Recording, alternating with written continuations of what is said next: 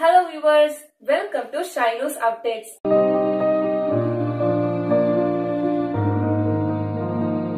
Today we are going to learn about the basics of surveying. So we should know the actual definition of surveying. What is meant by surveying? Surveying is defined as the art of determining the relative position of an object on or below the earth's surface. Then what is meant by relative position? Relative position means with respect to something.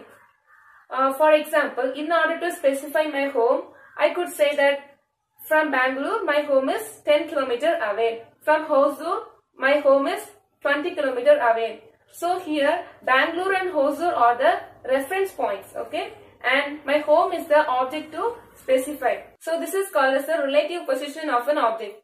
Now let's see about the objective of surveying. Objective of surveying is the main objective is to prepare plan or a map.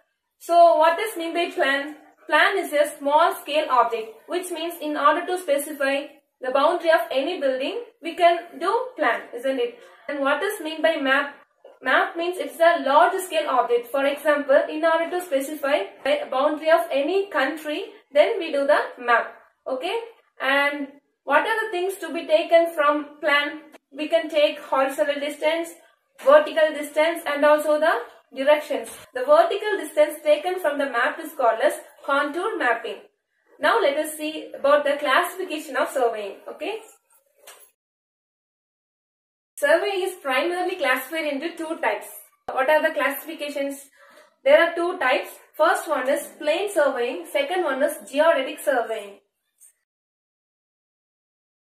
Okay, now what is meant by plane surveying? When the surveying area is less than 250 km square, then we can say it is plain surveying. Okay.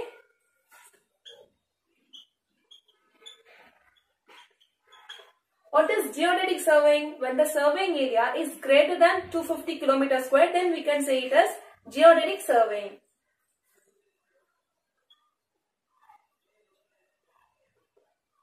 But what's the main difference between this plane surveying and geodetic surveying? Plane surveying, here the surveying area is taken into account. But in geodetic surveying, the curvature of earth is taken into account. So this is the main difference between plane surveying and geodetic surveying. So these are the basics of surveying.